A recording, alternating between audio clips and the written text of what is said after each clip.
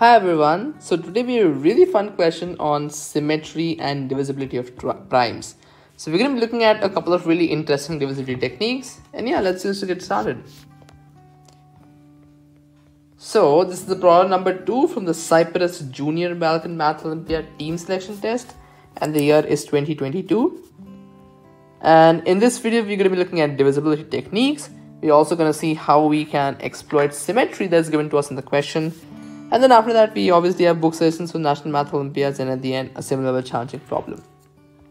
This video is sponsored by Cheenta.com. Since 2010, Cheenta has trained thousands of students from all around the world in mathematical Olympiads, physics Olympiads, computer science and informatics Olympiads, ISI CMI entrances, and research projects for school and college students. Okay, so the goal is to determine all pair of prime numbers p comma q that satisfy this given equation.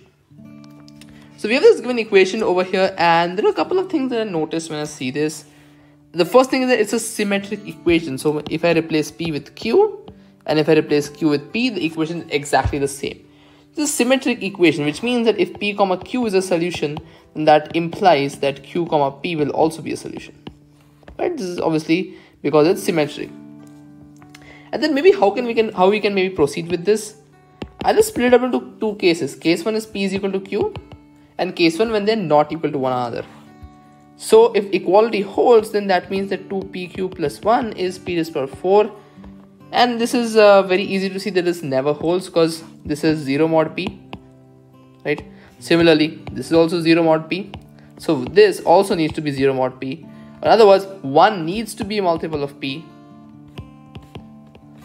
1 needs to be a multiple of p right it needs to be a multiple of p but since p is prime this obviously does not hold true we need to determine the number of prime numbers well, 1 could be a multiple of p if p was 1, but p is a prime, so it can never be 1, right? So obviously p is equal to q does not hold true. It does not have any solutions whatsoever.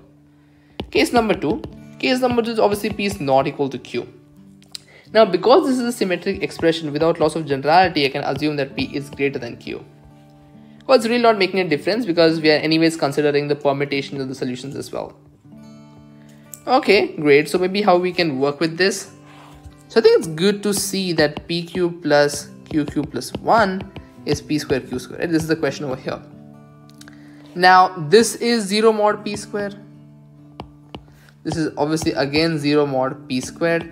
So effectively qq plus 1 also needs to be 0 mod p squared. In other words, p square needs to divide this quantity, right? And this is essentially the sum of cubes, so this can be factorized as q plus 1 times q square negative q plus 1 and after this I can very conveniently split this up into like only and only three cases so case A would be that p divides q plus 1 and p also divides q square minus q plus 1 case B would be where p divides or rather p square divides q plus 1 but p does not divide the other quantity q square negative q plus 1. Case C would be where p square divides q square minus q plus 1 and p does not divide q plus 1, right? So we can very conveniently split this up into three cases, case A, case B, case C. These are subcases within this entire case 2 where we are discussing where p is not equal to q. And up to this point, we obviously have zero solutions for p is equal to q. So maybe let's just take these cases one by one and explore how this works. So case 1 is p divides q plus 1 and p also divides q square minus q plus 1.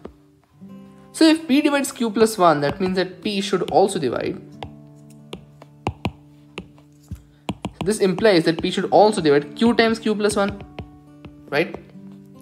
So effectively p square p should divide q square plus q and p also divides this other quantity over here right so P divides Q square plus Q minus Q square minus Q plus 1. Right? So which implies that P square P just divides Q square plus Q minus Q squared plus Q minus 1. Then we just cancel these terms. So which implies P divides 2Q minus 1. So this is a really common technique to kind of reduce this quadratic down to a linear expression over here. And we can actually reduce this further because we know that p divides q plus 1.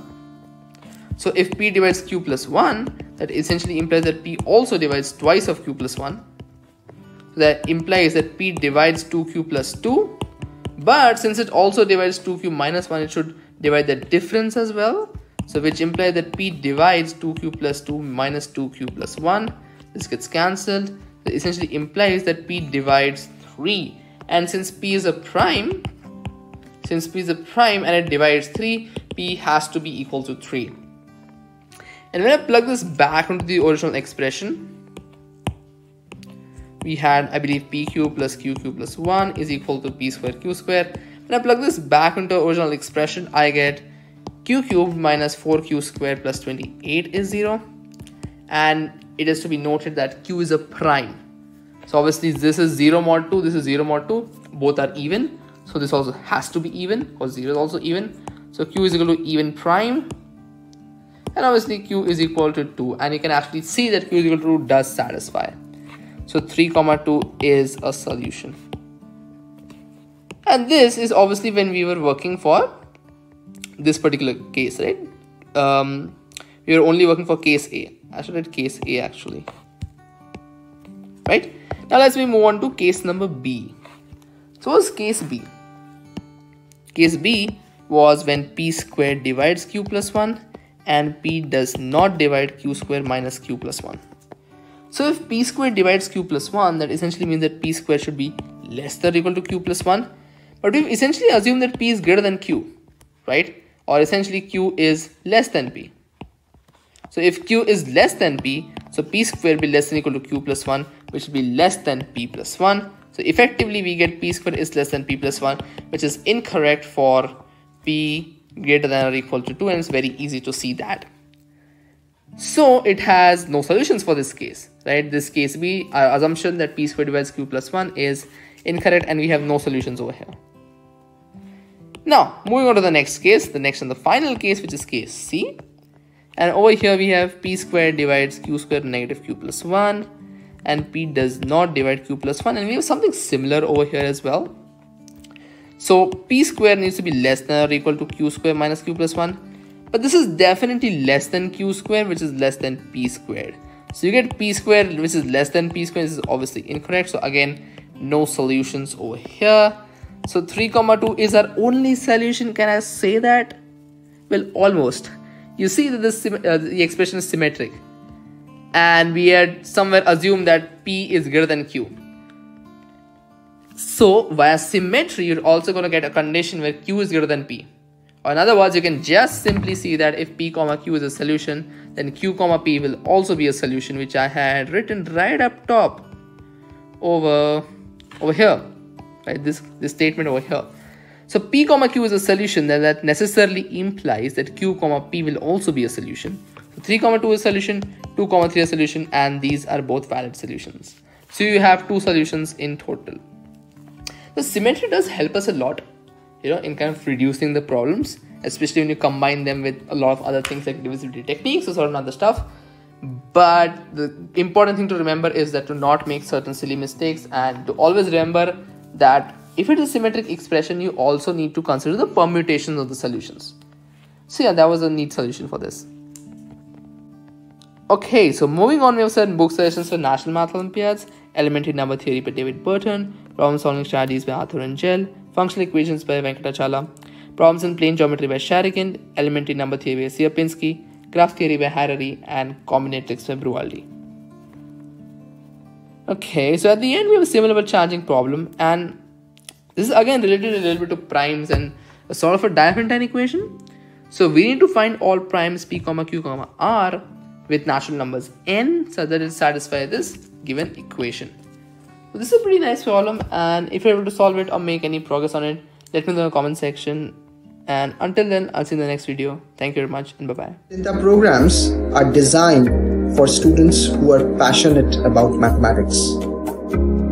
And they are personalized with one on one training, individual evaluation, and remedial sessions.